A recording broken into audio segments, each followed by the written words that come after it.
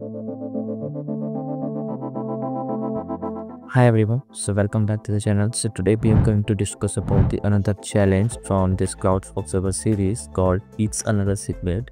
So it's of around 50 points, correct? And as the challenge name says, you have just gained access to the role ERTZ and we need to find the access to It's Another Secret L so it seems like uh, because in the last challenge itself we already got the access to this ERTZ role if you have not seen the video so you can go to that particular video and take a at how exactly we are able to get the access to this particular ERTZ role.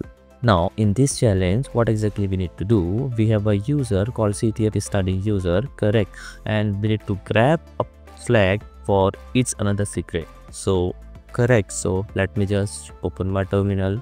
Yeah so let's start with this particular uh, challenge. So what exactly we need to do? First we need to use the older role correct and to get the permission you need to just execute the command called aws iam get role and just put the role name ertz and using the cloudfox profile. So once it is executed you will get the details of this particular role. Then what we need to do is yeah so as you can see here this particular user has the permission called set assume role correct? So you just need to copy the arn from here and we need to execute the another command. So let me just copy the command from here and let me just paste it here. So yeah we just need to copy the arn from this particular thing this particular output just paste it here. And then you need to run the command with your profile. Once you will execute the command uh, let's wait for the command to execute. Oh sorry. Access denied. Might be there was something is wrong. So let's check the arn oh by mistake we have added the ctf study user arn but we need to add the arn of this particular role name directly. Let's copy it. Let's use the above command and just replace the arn from here with the actual values. Just execute it. Let's wait for it to execute. And mm, yeah so it's executed and observe you will get the credential correct in encoded format. So what exactly we need to do? We need to store this particular credential in our AWS, I would say credential file. So let me just quickly open the AWS credential file here. So you need to run this just like a, you need to edit your credential file, correct? You can edit it from anywhere. I'm just using like a subline here. Let me pull it from another student put this screen. So yeah. So you need to add like the credential that we have generated using the blast command and just need to paste it here in the ERTZ. So just need to put like the AWS access key ID and then the secret key ID as well as like the particular session token. So once you added the command, you need to execute the another command called AWS. One second, let me just check what is actually the actual command. So yeah, we need to use here like the get caller identity, correct? With uh, the profile that we have recently created called ERTZ. Oh, seems something wrong. Let me quickly check. AWS with hyphen profile ERTZ. Okay, seems we missed to add like the double hyphen in the profile. Let's add it. and let's execute it. Again, big issue. So AWS IAM. Okay, fine. So instead of IAM, you need to use here like the STS so let's replay it with the sts just execute it once you will execute it using your profile ertz you will observe yeah you will observe if we give you like the user id account and the arn it means the credential for the ertz it's working as good enough it's working fine. Correct. So right after this what we need to do we need to just check like what all roles policies are attached to this particular ERTZ role. So for this, we need to just execute the command called AWS IAM list attached role policy with the role name ERTZ and using the profile called ERTZ. So it is showing you do not have the access to this particular list attached role policy. Let's try it with the another profile that we are using last time that is cloudfoxable.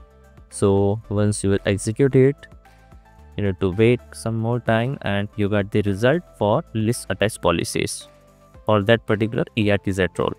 so you can see here are two policies that are attached. Oh sorry only one policies are attached that is it's another secret policy and we have the arn as well. So let's execute the get policy version command correct to get the detail of this particular attached policy. So you just need to put like the policy arn here in the get policy version command and then we need to define like the version id and as well as the profile here. So you need to just add like the version id called v1 and we need to execute it using like the cloud foxable profile.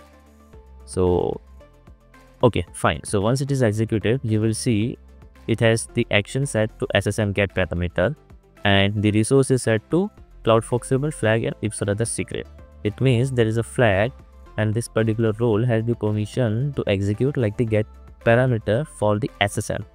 So then we need to just draft the command correct to capture the secret or we can say extract the secret from the SSM.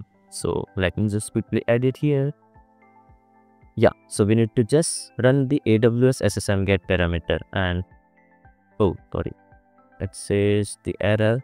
Okay fine. So we just need to define like here the region. So that i missed to add it in the above command. So i'll just tell you the again the what should be the command here. So the command would be aws ssm get parameter. Have to define like the parameter name here and the profile. And using that particular profile you need to define which particular region we need to call. So let me just put the add the region here. Called qs rest 2 as per the documentation available in the description.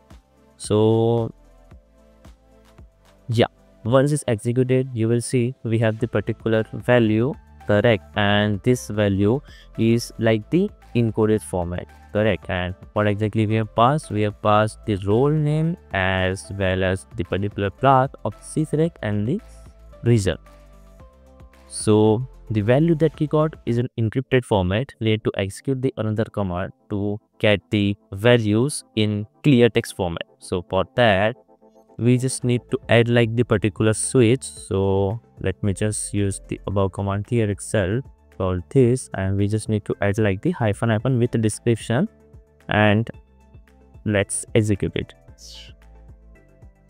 Hmm. So it will take some time and yeah fine. So once it is executed you will see under the values we have the flag in a clear text format. So let's copy the flag from here and just open here window and just paste it in this particular secret box. So yeah we can see that. We are able to complete this challenge and it's pretty straightforward